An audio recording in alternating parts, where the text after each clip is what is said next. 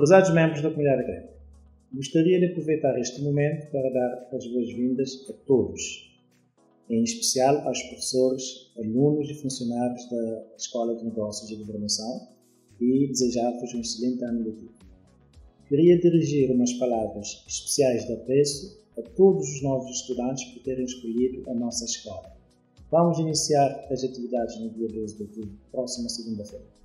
Nesta altura difícil em que vivemos, em meio da pandemia de Covid-19, gostaria de dizer-vos, caros membros da comunidade académica, que estamos a atender a todas as diretrizes da OMS, do Ministério da Saúde e demais autoridades sanitárias lá de Vamos manter atividades escolares seguras para mitigar riscos, tendo o distanciamento social, o saneamento e higiene, o uso de máscaras e a higienização das mãos como principais medidas de prevenção contra a Covid-19.